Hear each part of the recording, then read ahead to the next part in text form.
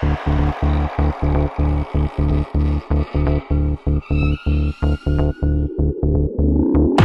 bien, la función de la dirección es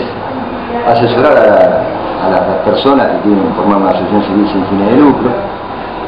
En cuanto a los requisitos, tanto como para personas jurídicas provincial o de municipal, son los mismos requisitos debido a que hay un convenio con la municipalidad y la provincia de Buenos Aires a donde trabajamos mancomunados, digamos, de, la misma manera y pedimos los mismos requisitos, que es el acta constitutiva, que se constituya la institución,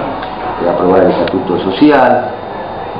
y, bueno, y después, eh, en tiempo y forma, presentar la documentación que corresponde, que son los balances anuales,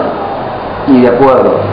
al tiempo que dura la comisión directiva, la renovación de su comisión directiva. Tiene beneficio porque hay subsidios, a veces a través de nuestros diputados nacionales, diputados provinciales, senadores provinciales,